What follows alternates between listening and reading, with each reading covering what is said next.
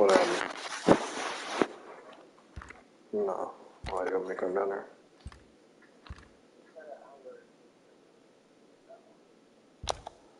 Alright, let me put my clothes on. Out.